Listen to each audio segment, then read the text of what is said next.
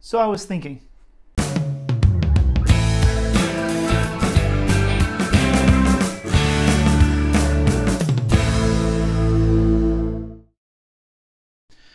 Most of us are familiar with the old adage old soldiers never die, they just fade away. This saying is grossly untrue on two accounts.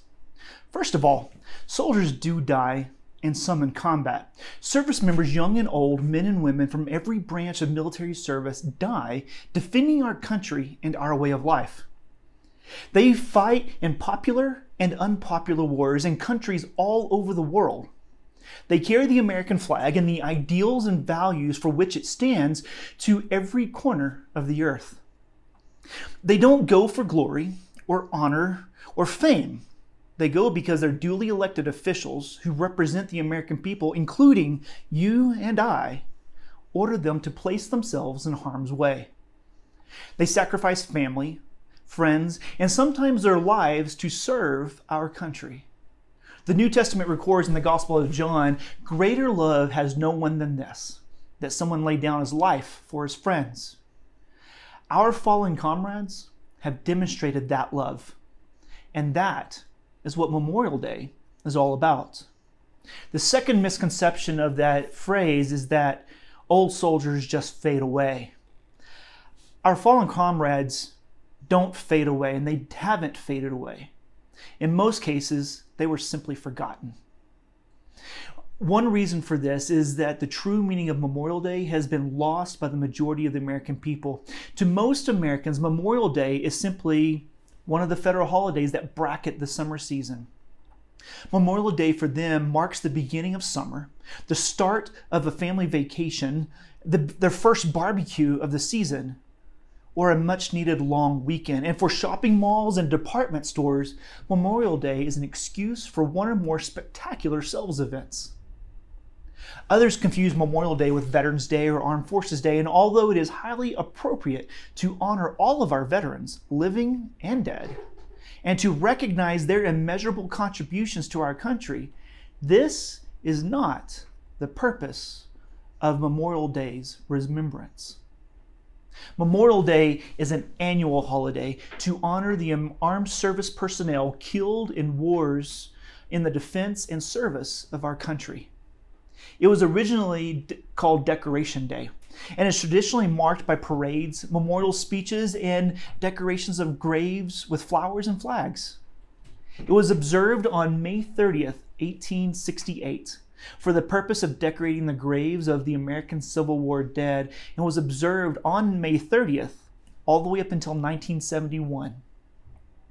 The forerunner to Memorial Day was born on November 19th, 1863, when President Abraham Lincoln came to Gettysburg, Pennsylvania, to help dedicate a new national cemetery to, in, dedicated to the brave soldiers who died in the battle that serves as the turning point of the Civil War.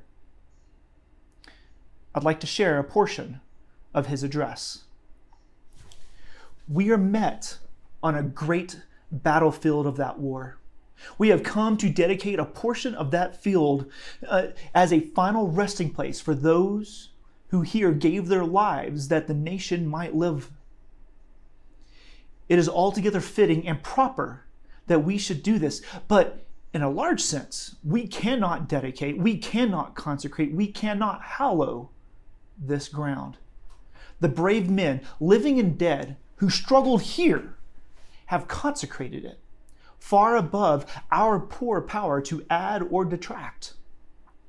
The world will little note nor long remember what we say here, but it can never forget what they did here.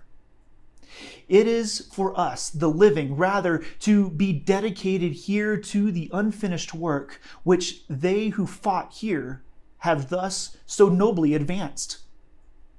It is rather for us to be here dedicated to the great task remaining before us, that from these honored dead we take increased devotion to that cause for which they gave their last full measure of devotion.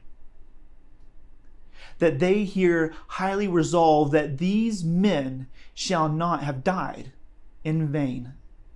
That this nation under God shall have a new birth of freedom, and that government of the people, by the people, and for the people shall not perish from the earth.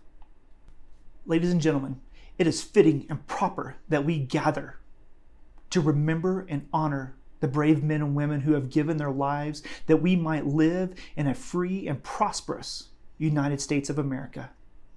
But in the same sense, it is impossible for us to do anything or say anything that can add to the honor that they so nobly earned.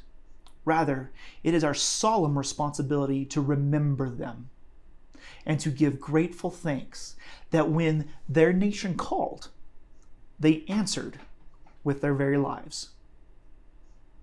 You have the ability to remember and celebrate the brave men and women that went before and fell, lest we forget. Those are my thoughts.